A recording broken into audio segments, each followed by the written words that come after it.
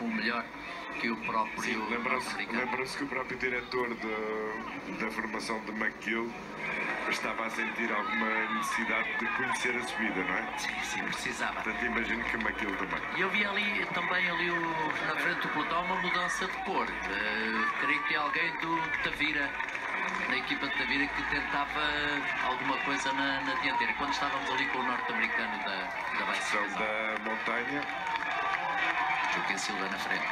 Até porque nas, Luís Gomes. as chegadas dão pontos para os 25 primeiros, portanto ainda há interesse Varia, se eles varia. chegarem destacados, tanto para o João Matias como o Scott Eu McGill. acho que se penduraram estes dois, um João toque, Pedro. foi, não foi Sim, Maria, sim, foi um toque.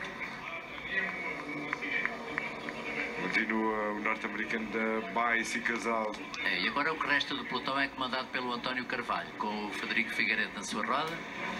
Depois estão realmente ali dois corredores da, da equipa de Tavira, que é- creio que é Marque e Délio Fernandes.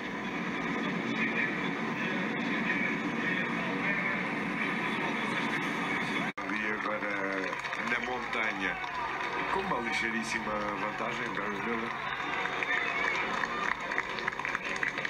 É, mas os homens da frente estão todos ali. Está o camisola amarela, está o camisola da montanha. Sim. São primeiro e segundo. Sim, logo ali a seguir e a fazer a junção agora, curiosamente.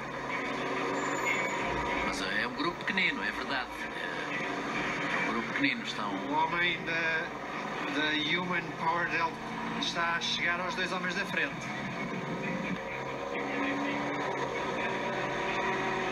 Joseph Roscoff, assim sendo. ao 153 Jesus Del Pino. Confirma-se. Este é o grupo.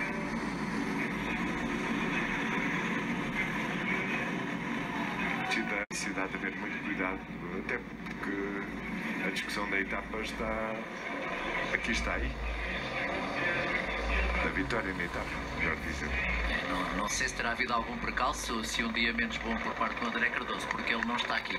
Ah, É a ser alcançado agora a camisola verde? Ah, mas vem lá atrás um grupo que persegue, que tenta reentrar. Mas não parece Não ver parece que ali esteja o lá. André É isso, uma camisola azul. A zona é lindíssima também. E assim se consegue. Tentar avaliar com a intranquilidade própria de quem vê aqui somar uma oportunidade, chega mais a algum corredor, continua a ser a 3. 5 km. 4 Os km. outros três estão quase, quase a entrar. O carro do E Luís Gomes não vão ter, Marco, eh, muita oportunidade para olhar uns para os Não, outros é, apenas. se, se, se descuidam, têm mais companhia e faltam apenas 2 km, eles são maioritariamente a descer. Depois é a aproximação, aumenta também ela muito, muito rápido. A 4 km está o grupo do. E depois é a situação, é a situação, peço desculpa, é a situação de quem vai atrás, vê sempre a trajetória dos que vão na frente. E numa, tru, num- Vitória da tirada, fecha o grupo aqui como vem Callum Johnson, o britânico da Caixa Brava. A reservar-se ali com as últimas energias para a discussão junto à meta. É tudo muito rápido agora. Isto são Última viragem 350 metros e é reta de e agora marquei o favorito. Quem entra na frente? A colocação é boa, sim. a aceleração faz-se, é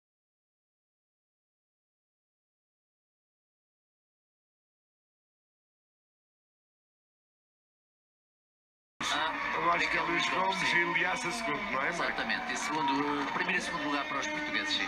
Luís Gomes a vencer a etapa número 7 da volta a Portugal em bicicleta.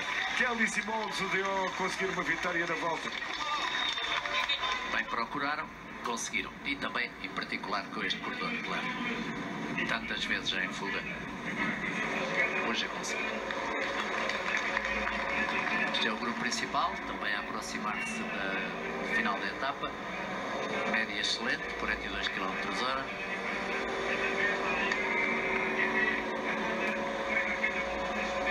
Bruno Silva, corredor da Tafer Montagne, que está logo atrás do António Carvalho. Já lá vão Os 48 carros parados segundos desde aqui. sim, entrar agora no último quilómetro, desde que a fazer ainda uns pontinhos sim, e saber quantos. e a saudar isso mesmo. Claro, claro, porque recupera grande parte do prejuízo que teve hoje. última Bem que vez, também é aqui mais. grupo, vai Já, já não terá grandes pontos. ainda assim, Ainda assim, tenta ser o primeiro, sim. mas não é. Ou melhor, o grupo de camisola amarela entra ali com 1,47 sensivelmente de diferença. Aqui um abraço emocionado, Marco. É a vitória de, Luís Gomes, saudade por João Matias. E É um coração e a grande. seguir esta vitória, José Sousa era com quem estava com ele e que por ele trabalhou. E agora chega o grupo com o André Cardoso, sim.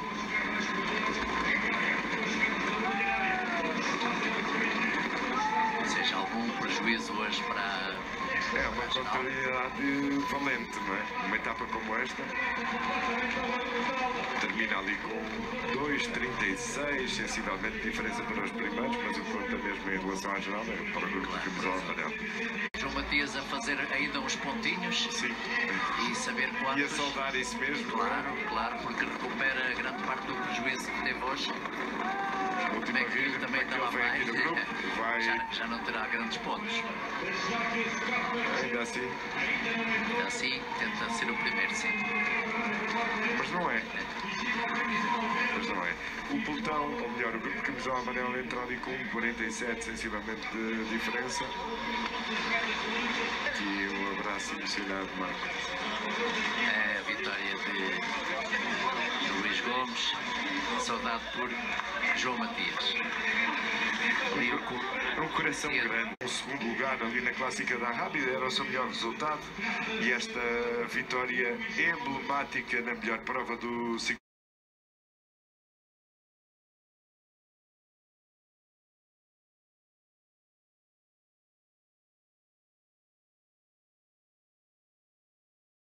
Desta etapa.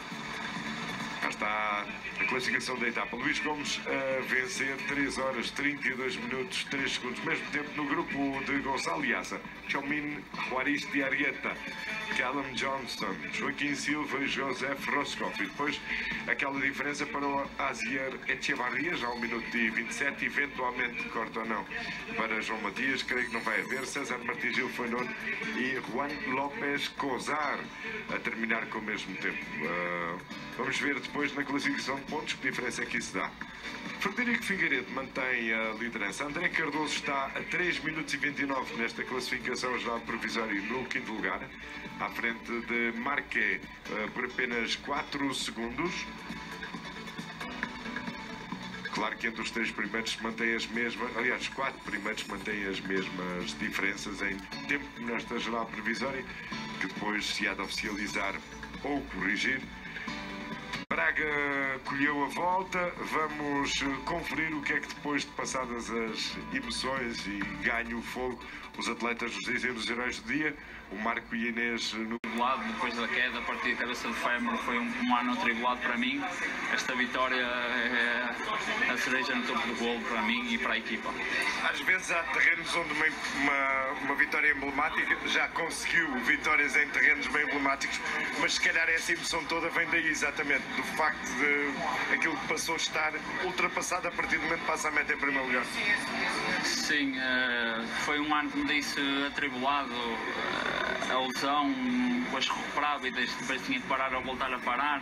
A preparação para voltar a Portugal não foi ideal, mas tínhamos com o objetivo de, de vencer uma etapa comigo ou com algum colega. Eh, E eu consegui vencer a minha terceira vitória na volta a Portugal e é, é- é é espetacular. Como é que se convive com essa pressão da vontade, necessidade, de- como lhe queremos chamar, de- do resultado e depois da libertação de o conseguir finalmente? Os chefes não põem pressão, mas nós ciclistas temos a pressão de fazer o melhor eh, em prol da equipa para dignificar os- todos os patrocinadores. Eu ontem cheguei, cheguei desolado ao final porque dei o meu máximo e não consegui cumprir o objetivo que, que pretendia. O eixo, graças a Deus, graças à estrelinha que eu tenho lá em cima, que me guiou e consegui a desejada vitória. O resultado não está feito para a volta, pois não? Eh, já está mais leve? já está, um objetivo já está cumprido, já estamos com uma consciência mais tranquila. Agora o que sair, temos o Helder, o Helder Gonçalves a lutar pela juventude eh, e vamos ajudá-lo a que ele consiga vencer essa classificação e entrar no top 10 da volta a Portugal. Obrigado, bom recobro deste esforço e desta emoção e já agora que desfruto dela bem ali no pódio porque bem parece, enquanto eh, a glória não chega, de facto a pressão sobre o resultado acontece. Jesus, foi difícil? Sim, foi, eh, foi uma etapa bastante dura. Eh, Aqui a subida ao Alto Salmeiro era a dificuldade maior. Penso que. Pronto, estive bem. Oh, Gonçalo, eh, foi ali um momento em que quase pareceu que chegava ali na, no final, não foi? Sim, sim, foi. Eh, Pensei que ainda desce, mas as forças estavam um bocado escassas. Colei só ali a um quilómetro da meta e as forças eram bastante poucas. Mesmo assim, no segundo lugar, fico contente. conseguir uma vitória numa etapa. Hoje foi mais um dia, foi dia de ir para a fuga tentar eh, tudo por tudo. Sabia que na subida tinha que tentar fazer a diferença, infelizmente não consegui ir sozinho. O Luís Gomes estava muito forte, acho que foi o merecedor da vitória. E agora, eh, é fazer mais do mesmo. Eh, a FAPEL tenta nas etapas aquilo que por azar na primeira jornada não consegue na geral. Sim, eh, lá está, foi um dia menos bom para nós na, na Serra da Estrela, mas penso que estamos a mostrar agora o nosso valor e eh, dia a dia temos melhorado. A equipa está unida em prol do objetivo de meter o Henrique no top 10 e eh, conseguir uma vitória de etapa. É para isso vamos lutar, faltam 3 dias. Vamos dar tudo o que temos.